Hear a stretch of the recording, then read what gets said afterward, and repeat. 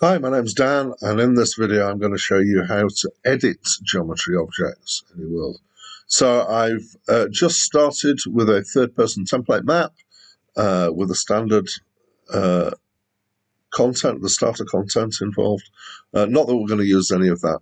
Uh, we're going to use a, a couple of uh, geometry objects from here. If you want to know a bit more about how to get started with the geometry objects, look at my other video on that. So the aim that I'm going to have in this video is I'm going to use the geometry objects to create a hut, um, which is going to show you several aspects of the editing of objects.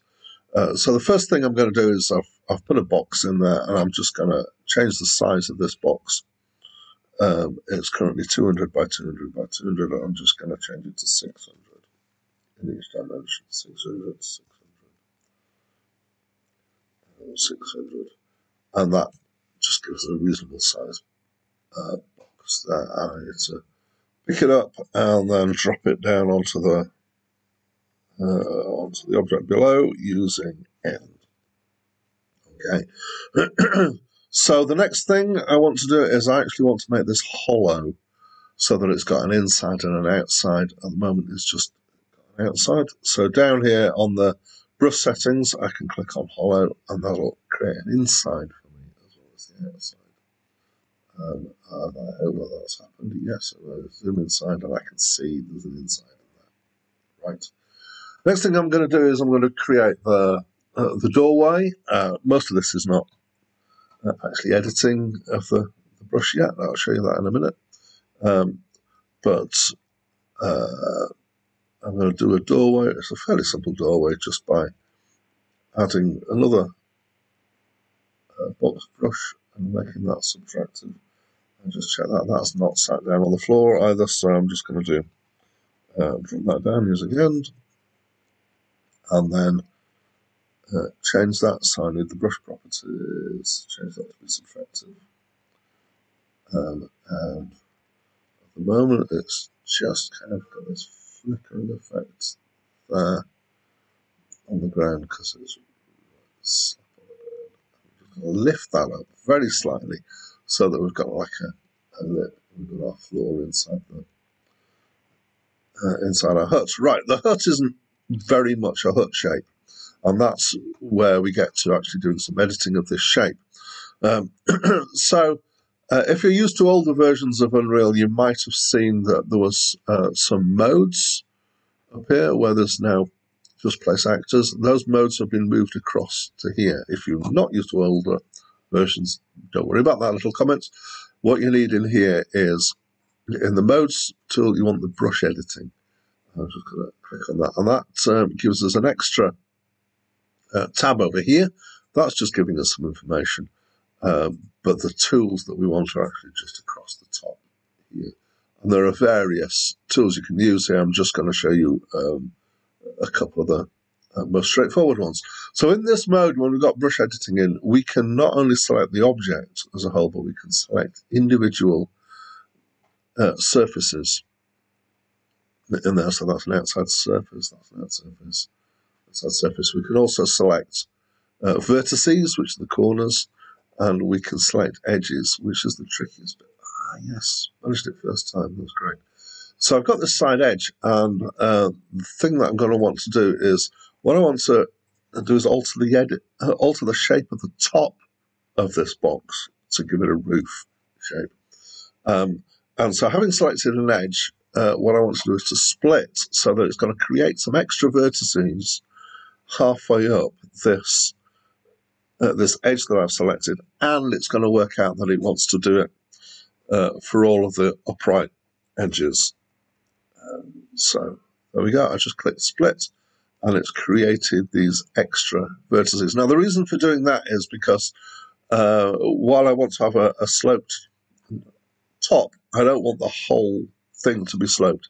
So below halfway down, I want to turn that into uh, something that's uh, obviously flatter. Um, right now, uh, I'm just trying to see if I can. Uh, there is no plane surface, obviously, because that's inside. So I was potentially going to manipulate a plane. We'll do that in a bit. Uh, let's do uh, making the top sloped. So what I'm going to do is select one of the vertices um, and I actually want to group select all of the vertices. So I'm going to, having selected the first one, I'm going to hold Control on the keyboard and click on another one. So that's selected two. Oh, just preempting there the fact that you can move. Um, uh, the, two. So I'm, I'm selecting, because it's hollow, there's an outside vertex and an inside vertex. Um, and because I'm using control click, you'll see that all the other vertices that I've selected will become orange. Now I could move all of these um, together just by using the manipulate tool uh, there, and you can see you can move vertices about. Uh, but the, the thing that I'm going to want to do is to actually merge these vertices so that you've got a peak at the top, and the tool that we want for this is the weld. Uh, what this is going to do is it's going to weld them all at the first selected vertex, which was the one that's over here, um, which means we're going to have to reposition that. But click weld, and ah, it's actually done it over there. I don't know why. And then we've got that vertex selected, and we can move that about. I'm using the, the XY movement, I'm just going to do this by I to get this in the center. that seems reasonable. Um, so very quickly, we've managed to alter the shape of that quite substantially. Uh, I'm just going click play and show that. We've got a roof. It's not perfect. And we've got the ability to run inside. Um, so in the, uh, I'll just show a couple of other things inside here. Uh, obviously, you can, uh, we've had a vertex selected uh, you can uh, hit the other tools on a vertex that's selected for rotate, but rotating a vertex uh, makes no sense. That's actually rotating the whole thing, which is interesting. Um, we've also got scale, and that's scaling the whole thing. Um, should be that if I've just got one vertex selected, there we go. I've kind of had the whole thing selected.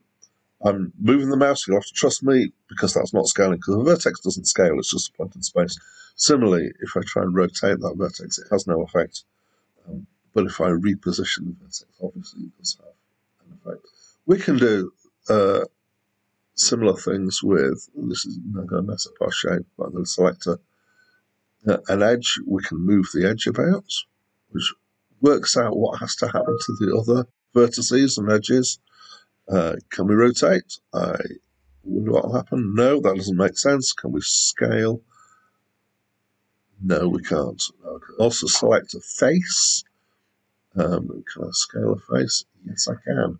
That's going to give us quite a crazy shape cut there. Yeah. We can also um, move that face and the other faces move and recalculate uh, and rotates. Does that work on a face? No, it doesn't.